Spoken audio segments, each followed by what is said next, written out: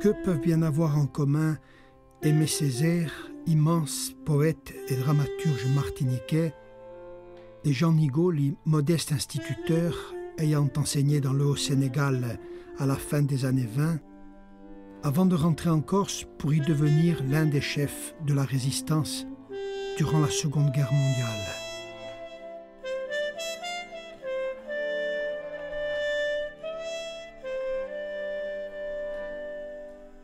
Tous deux sont des insulaires enracinés et hommes du refus. Ils rejettent très clairement le colonialisme et les souffrances infligées aux plus faibles. Tous deux aiment passionnément l'Afrique. Communistes, ils dénoncent les méfaits du capitalisme qui broie hommes et civilisations. Si nous avons décidé de rapprocher ces deux penseurs lumineux empreints d'humanisme, c'est tout simplement pour rappeler que derrière la grandeur de ces hommes que l'on se plaît à célébrer pour leurs engagements et leurs sacrifices, il y a l'idée pour et par laquelle ils vivent et meurent, celle d'un monde plus juste, plus libre, plus respectueux des différences nous avons demandé à des auteurs corses d'aujourd'hui d'être, par leur plume, à la confluence de la pensée de ces bâtisseurs que furent Négoli et Césaire, pour nous éclairer sur leur parcours idéologique, philosophique, mais aussi poétique. Nous, Corses et Italiens réunis, polyphonistes et jazzmen, voulons contribuer à mettre en relief les idéaux et les rêves de ces princes dénués, en proposant une musique métissée qui n'est celle de personne, précisément parce qu'elle est celle de tous.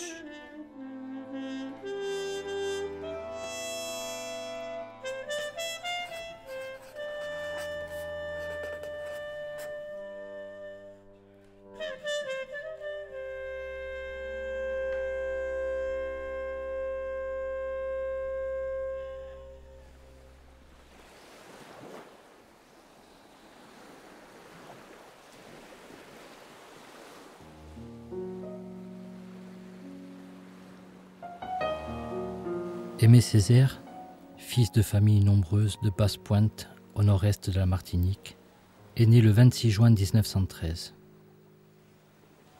Son père est un petit fonctionnaire, tandis que sa mère est couturière. Il se distingue par de brillantes études au lycée Schulcher de Fort-de-France, avant de poursuivre au lycée Louis-le-Grand à Paris en tant que boursier du gouvernement français.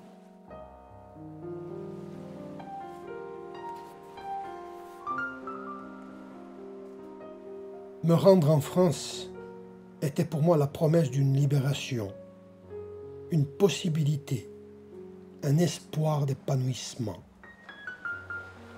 Autrement dit, contrairement à beaucoup de camarades de ma génération, j'avais constamment le sentiment que je vivais dans un monde fermé, étroit, un monde colonial.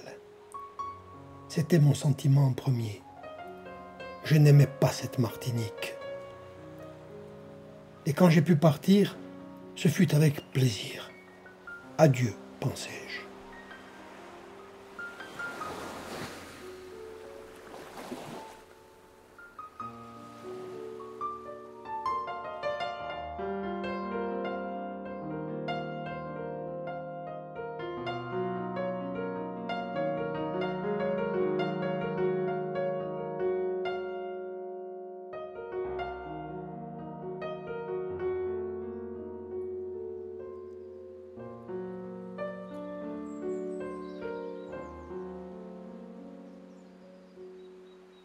Jean Ligoli naît le 4 septembre 1899 à Sangavino di Garbini.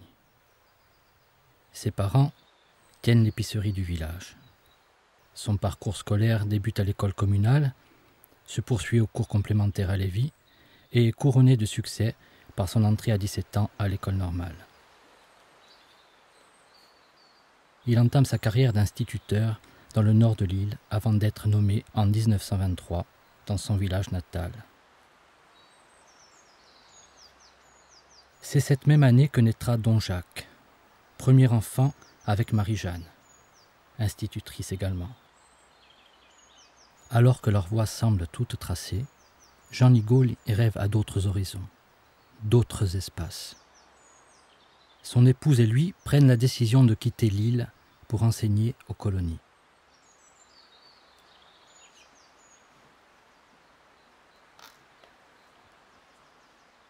13 février 1925. Départ. C'est triste quand même. Partir, n'est-ce pas mourir un peu? Nous allons vers l'inconnu. Pourtant, je sens au fond de moi-même ce bien-être du voyageur assoiffé qui commence à se désaltérer à une source claire et bien fraîche. Ah, cette soif de voyage. Enfin, je vais appliquer mes lèvres brûlantes à la coupe tant désirée. Ils arrivent en Afrique occidentale en 1925. C'est là et cette même année que leur fille Francette naîtra.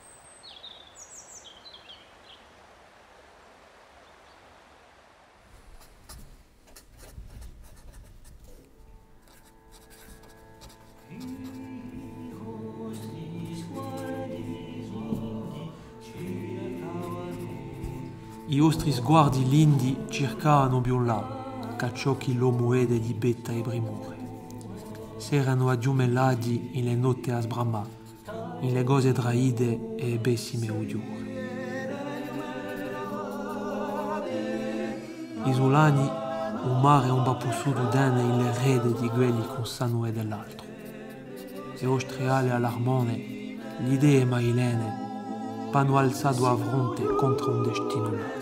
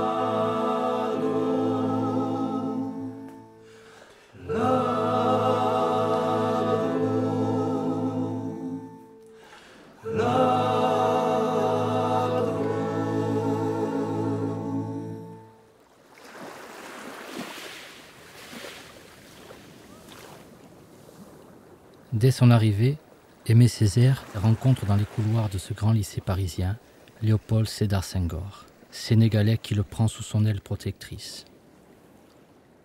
Tous deux entament alors d'incessantes discussions sur l'Afrique, les Antilles, le colonialisme, les civilisations, et se posent d'essentielles questions.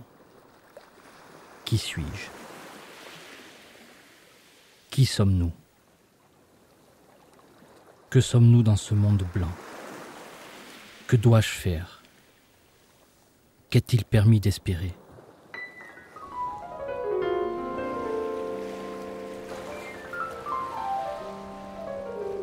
Notre doctrine, notre idée secrète, c'était nègre je suis et nègre je resterai. Il y avait dans cette idée l'idée d'une spécificité africaine, une spécificité noire.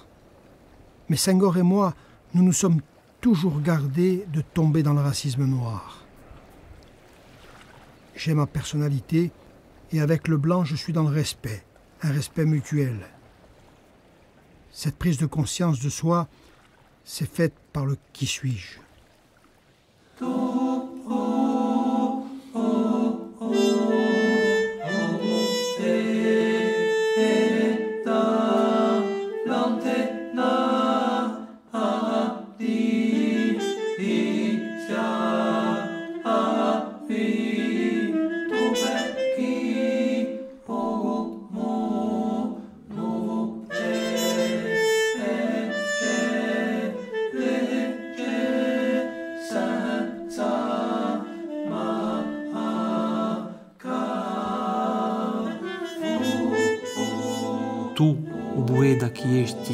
Esti antenagi stiavi e tu perché un gumuno fu legge senza macca una trivuna longa fu fatta con la e pigliaste a biolla che a miseria sbacca.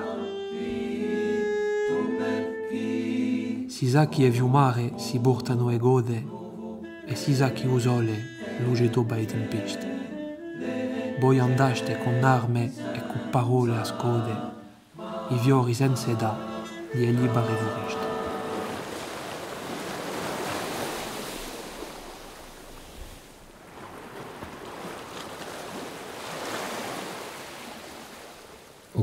d'autres étudiants africains, Aimé Césaire et son ami guyanais Léon Gontran Damas découvrent une part refoulée de leur identité.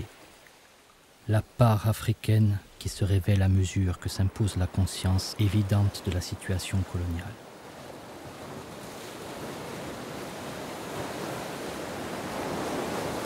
J'entends la tempête. On me parle de progrès, de réalisation, de maladies guéries, de niveau de vie élevés au-dessus d'eux-mêmes. Moi, je parle de sociétés vidées d'elles-mêmes, des cultures piétinées, d'institutions minées, de terres confisquées, de religions assassinées, de magnificence artistique anéantie, d'extraordinaires possibilités supprimées.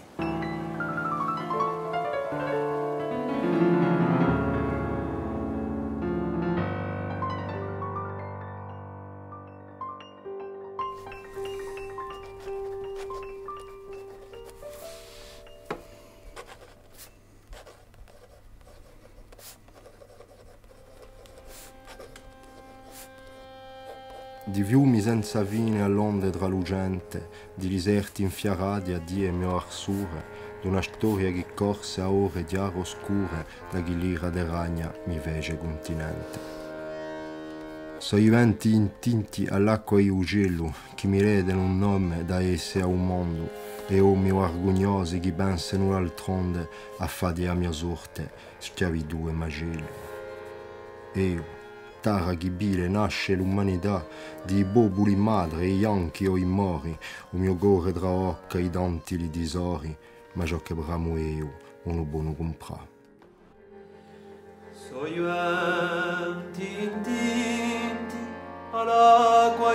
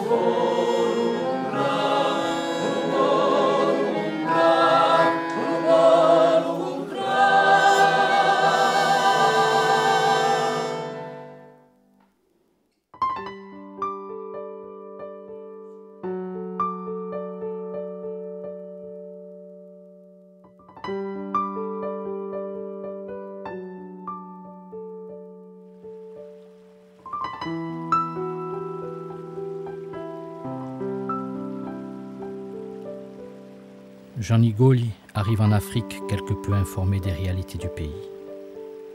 Il est néanmoins favorable à l'entreprise coloniale de la France, idée fort répandue à l'époque. Ses nombreux manuscrits, rédigés au fil des ans, et son journal quasi quotidien de 1925 à 1933 révèlent sa personnalité et l'évolution de sa conscience face au choc de la réalité africaine qui viendra bouleverser bon nombre de certitudes naïves.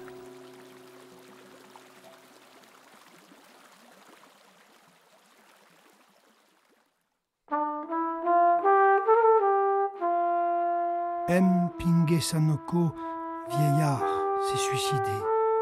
Savez-vous pourquoi? Tout le monde le sait. Et il l'a dit avant d'accomplir son geste. Ce vieillard n'avait personne qu'un frère âgé comme lui. Il n'a pas pu cultiver du coton. Mais lorsque la campagne de coton est arrivée, on lui a réclamé, comme à tout le monde, du coton. Il a répondu qu'il n'en avait pas. Il a été lié, frappé. Bref, il a été obligé de trouver du coton. Il a envoyé son frère chercher du crédit. Son frère n'en a pas trouvé. Alors, comme il était menacé d'être à nouveau lié et battu sur la place publique, désespéré, il est descendu au bord du marigot et s'est pendu à la branche d'un ficus, un vieillard.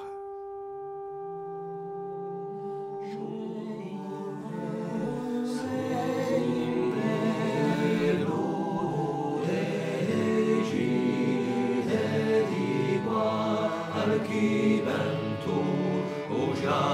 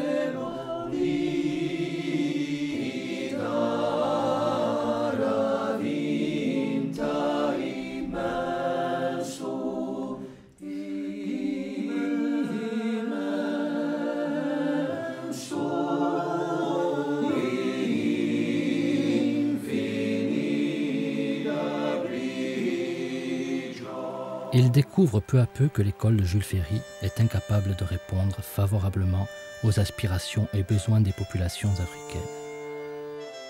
Il n'y aura pas d'élèves noirs. Il ne peut y avoir que l'élève Peul, Bambara, Malinké, Mossi.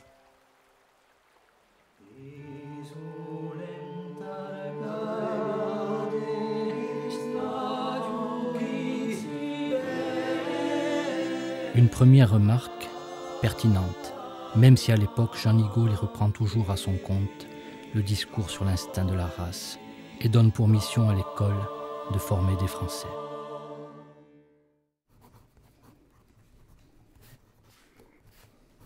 Riden aspettira un giorno con scalai. Avremo a come sicchia l'acqua.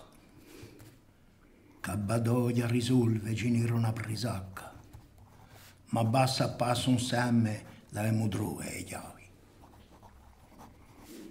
Imparava da legge confidanti, studiosi. Ogni inciampo francato mi cacciava un pensiero.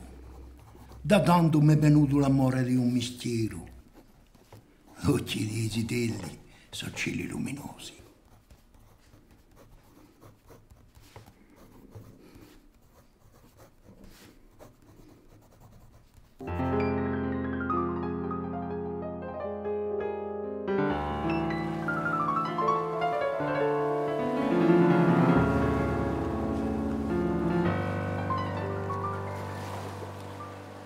En 1934, Césaire et bien d'autres, dont Senghor, Diop et Damas, fondent le journal L'étudiant noir, où apparaîtra pour la première fois le concept de négritude.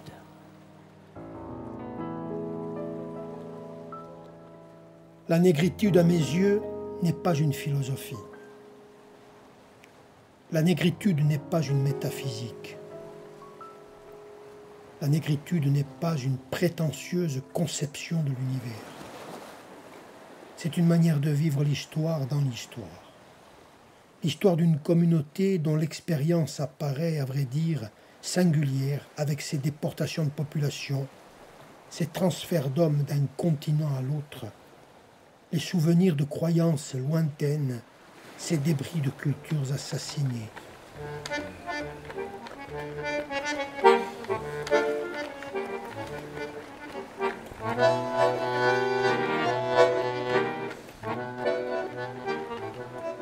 La mia isola è paraíso a cantà, rinagli color d'oro e gioielli d'orchini. Buedo rime da e dal bori. Ce concept vise à rejeter d'une part le projet d'assimilation culturelle de la France et d'autre part la dévalorisation de l'Afrique et de sa culture. Maintenir le cap sur l'identité, je vous en donne l'assurance, ce n'est ni tourner le dos au monde, ni faire sécession au monde, ni bouder l'avenir, ni s'enliser dans une sorte de solipsisme communautaire ou dans le ressentiment. Notre engagement n'a de sens que s'il s'agit de la conquête d'une nouvelle et plus large fraternité.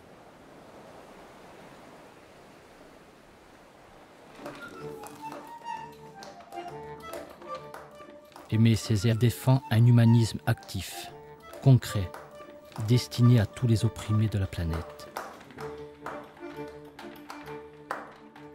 Isola n'a di un'altra, il mio colore di belle, origine piccato, guai, o anche scugnura. E io ci vedo sombra che incuduppa le stelle e va che risplende in luce così pura.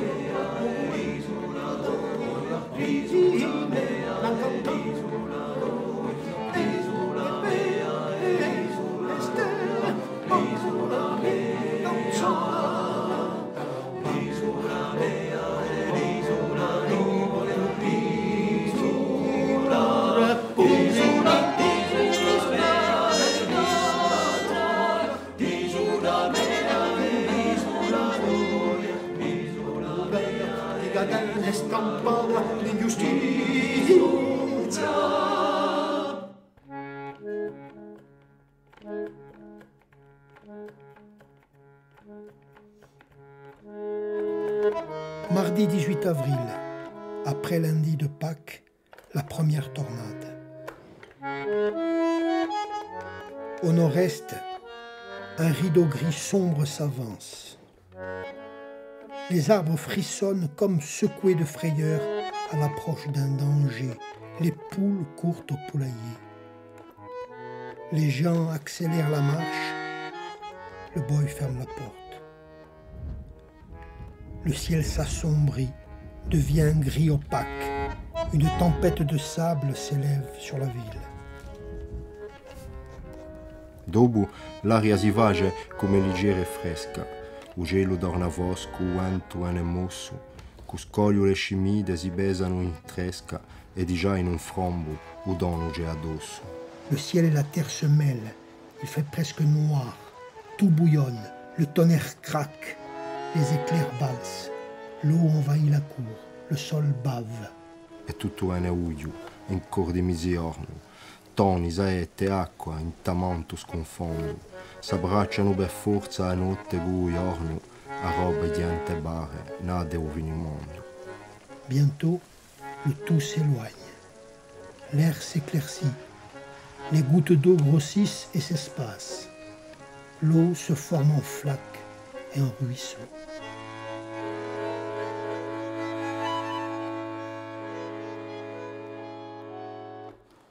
Dans sa volonté de connaître l'Afrique, de la comprendre, de l'explorer, Jean Igol y se livrera à un véritable travail d'ethnologue en transcrivant contes, légendes et proverbes.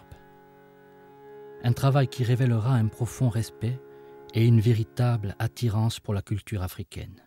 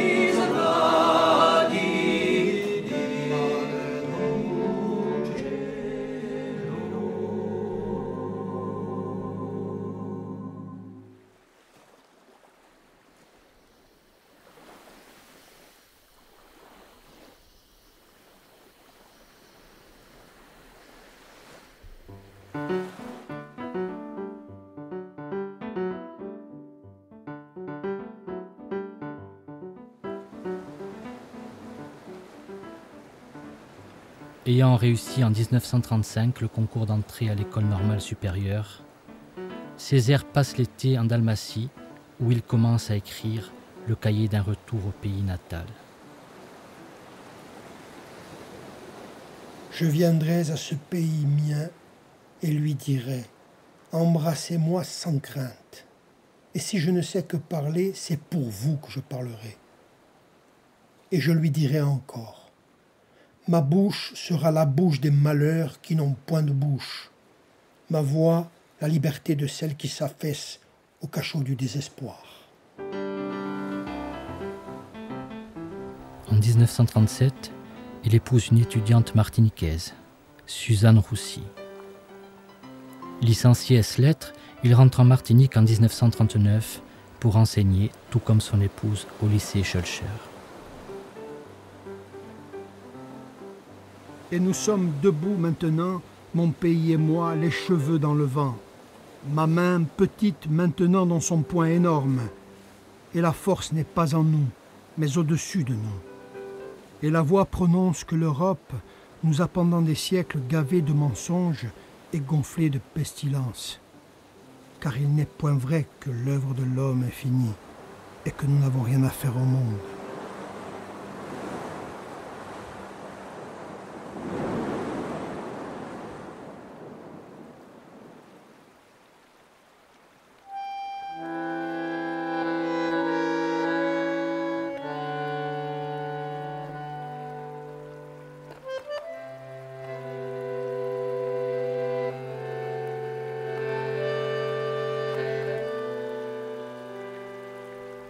Jean Nigoli prend peu à peu conscience des abus de la colonisation, de ses excès, mais aussi de l'abîme entre ce qu'il souhaite apporter à l'Afrique et la réalité de l'exploitation coloniale.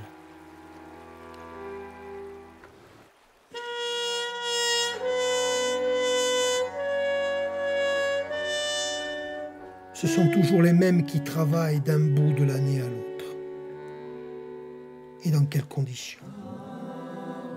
Ils travaillent du matin 5 heures au soir 7 heures sans interruption, avec une demi-heure de repos midi. Ils devraient être nourris, ils ne le sont pas.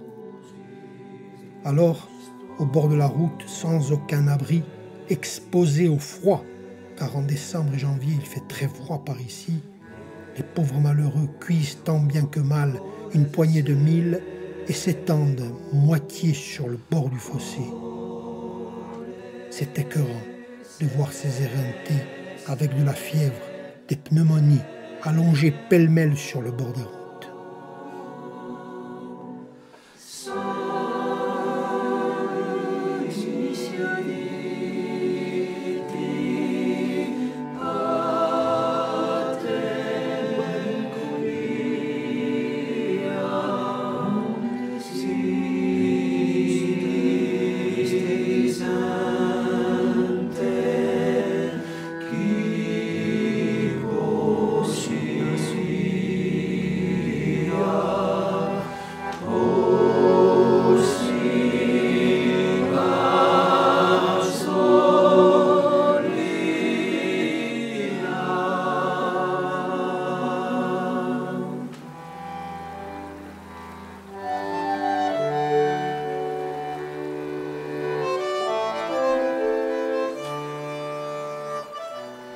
1935, Jean Nigouli quitte l'Afrique.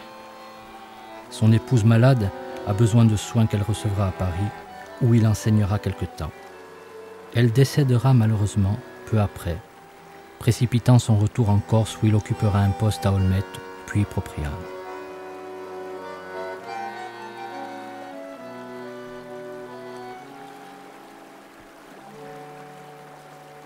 se sbinudu i jambre lagandomi vagabondo e a mio bene se mondo.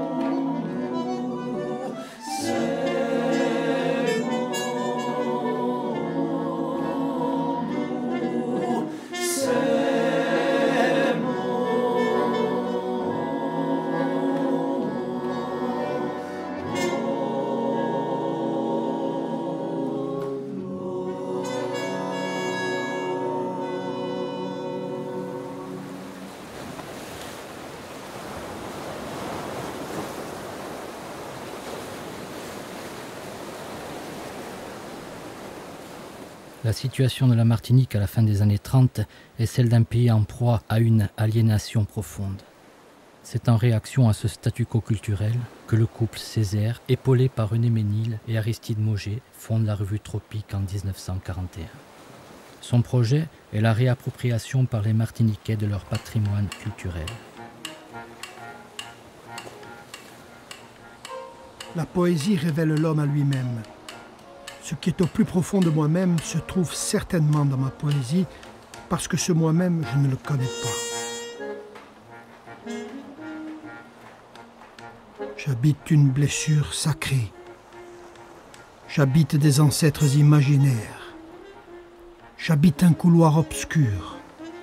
J'habite un long silence. J'habite une soif irrémédiable. Surnommé le nègre fondamental, il influencera bon nombre d'auteurs, tant par sa poésie que par sa pensée.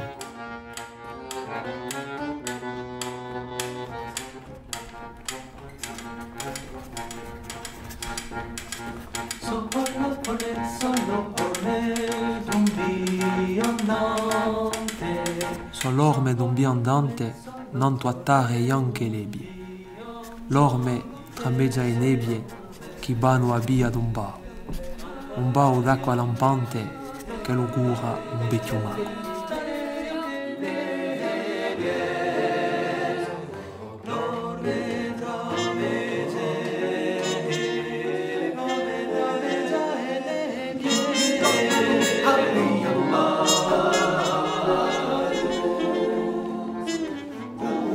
Sull'orme che sanno scritto un inno da rompe i guai.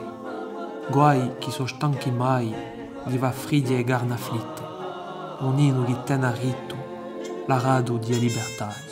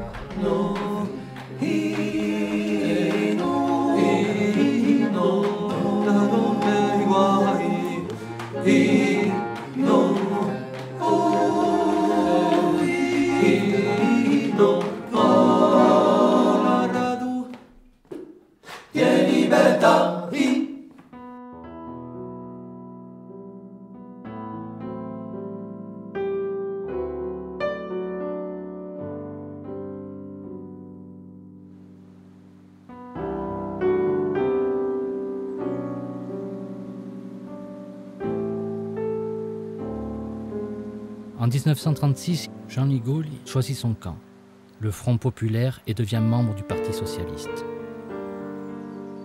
Il va poursuivre en Corse ce qu'il a entrepris en Afrique, toujours empreint du même civisme en envoyant aux organes de presse locaux diverses réflexions sur des thèmes qui lui sont chers.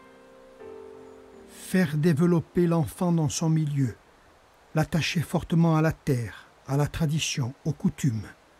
L'enseignement de la géographie et de l'histoire doit aider à l'éducation juste de l'enfant. La géographie et l'histoire de son village, de sa région, de la France ensuite. Connaissant son pays, il s'attachera à lui, l'aimera et de proche en proche s'attachera à tous ces pays qui dépendent l'un de l'autre et qui forment la grande patrie.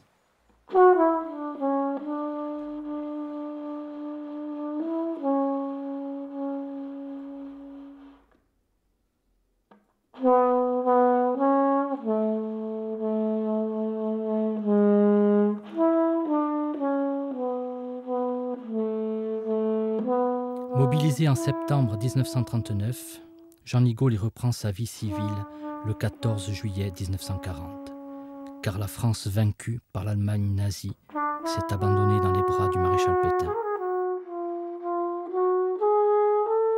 En août 1940, mon père revient démobilisé après l'armistice. À son arrivée au quart, il y avait la famille et quelques amis et dès qu'il eut mis le pied à terre, il déclara Il ne faut pas accepter l'armistice. Nous allons continuer à nous battre. Et nous rentrons à la maison, moi plutôt contente de retrouver mon père sain et sauf. Et sur la cheminée, ma grand-mère, dont le mari était mort des suites de la guerre de 14, avait mis une photo de Pétain. Premier geste, il prit la photo et la déchira.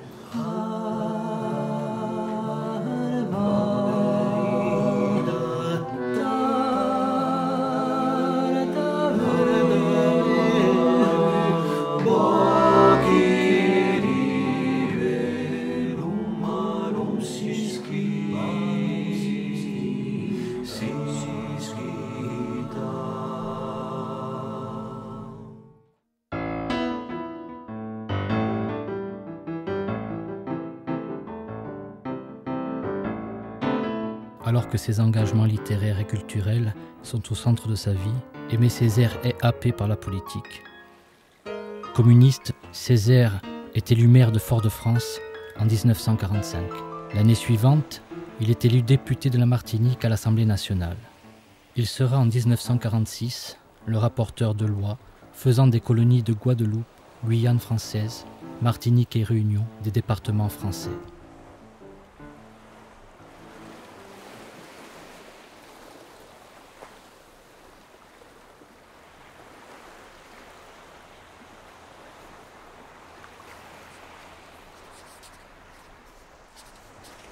Quello che fece crescere speranze comune è cresciuto è lo stesso all'alto iezene. E le biadi e i aldi funo esotintene a discida e olie da strappa tante fune. Uno bigliò a Gadana, l'altro a pena. Da li vadi l'albe e noe lune. Quello che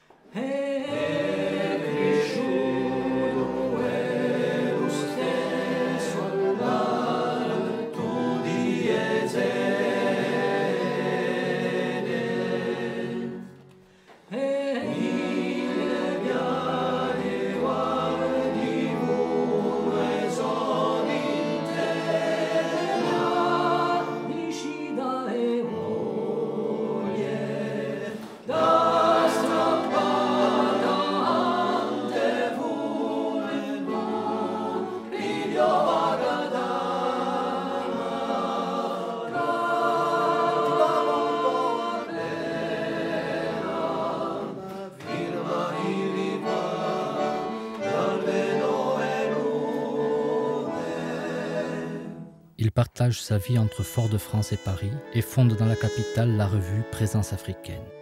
C'est dans cette revue que sera publié pour la première fois le discours sur le colonialisme. Oui, il vaudrait la peine d'étudier cliniquement dans le détail les démarches d'Hitler et de l'hitlérisme et de révéler aux très distingués, très humanistes, très chrétiens bourgeois du XXe siècle qu'il porte en lui un Hitler qui s'ignore, qu'Hitler l'habite, qu'Hitler est son démon, et que s'il le vitupère, c'est par manque de logique, et qu'au fond, ce qu'il ne pardonne pas à Hitler, ce n'est pas le crime en soi, le crime contre l'homme, ce n'est pas l'humiliation de l'homme en soi, c'est le crime contre l'homme blanc, et d'avoir appliqué à l'Europe des procédés colonialistes dont ne relevaient jusqu'ici que les Arabes d'Algérie, les coulis de l'Inde et les nègres d'Afrique. Son aria e bandere è impuntata di madi e so colme e belle versi rinadi e porti. Che non ci sia più stagione senza raccolte e chi que suole ha vita sappati insieme s'accimarà idraulico e volte.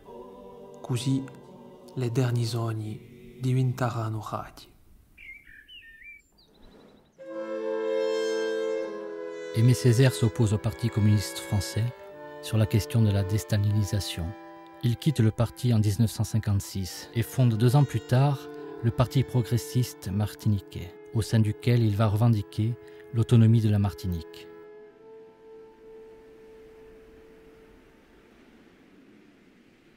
Parallèlement, Aimé Césaire poursuit son œuvre littéraire et publie plusieurs recueils de poésie, pièces de théâtre et essais. Une œuvre littéraire universellement connue.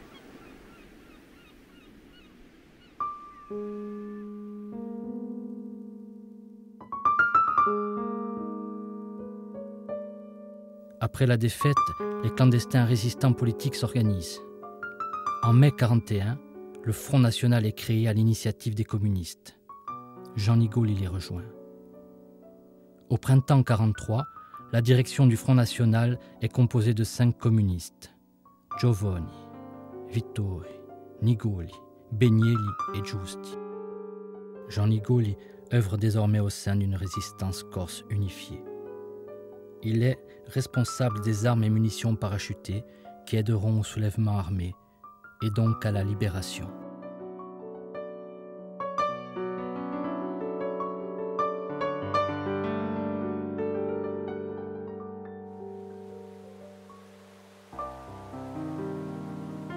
Jean Nigoli sera arrêté par la police fasciste le 27 juin à Ajaccio. Après deux mois d'incarcération, il est transféré à Bastia. Il y sera jugé le 28 août par un tribunal militaire italien et condamné à mort.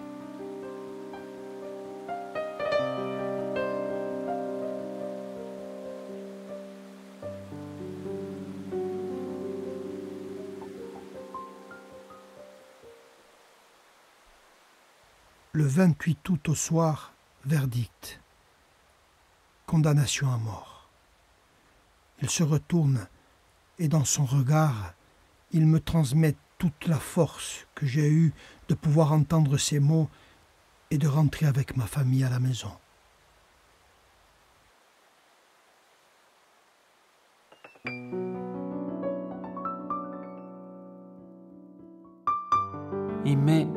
Me cresceno tanti ricordi a fior di belle, culiere con spulere e tribiere dell'adia, un lizzolo ilino arrembano alla madia, una oge ghialetta e due organiele.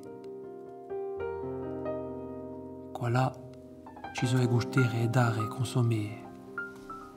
Usò l'attraimento, luce in esovambace. Presto giù le radi in bassi a tace. E mio rame si crede che li varranno re. D'una onda Cesare con via radio blu e di l'altra uoia in camicia da nero. Usando chi s'appronta, cieco e mogio davvero. Non sa che amo morte e pregna gioventù.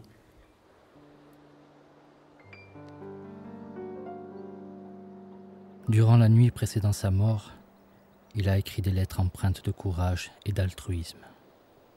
Un message d'amour pour son île et ses camarades, ainsi qu'une lettre poignante adressée à ses enfants.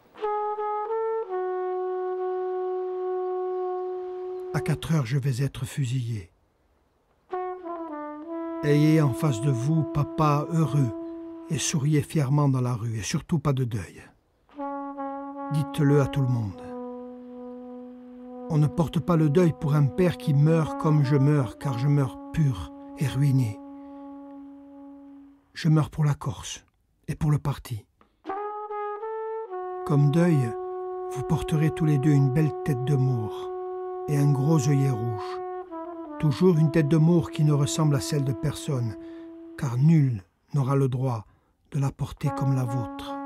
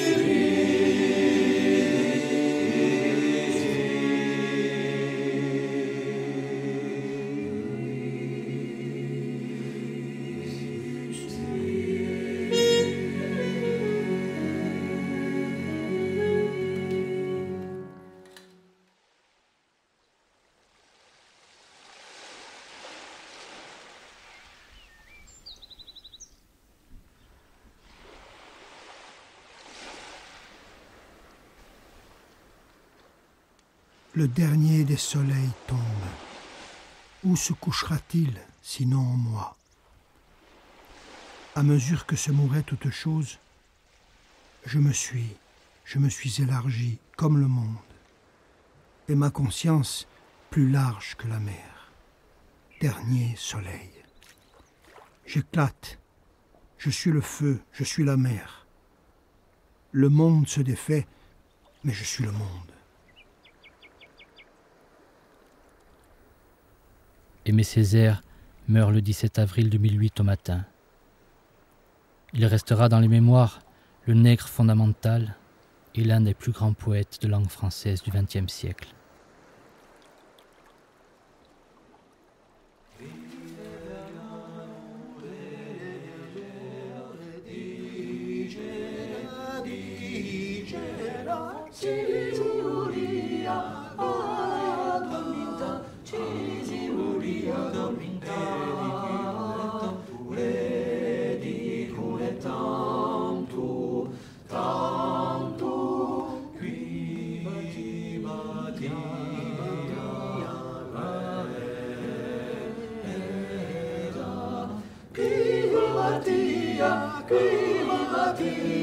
Be but Kribatia Amen.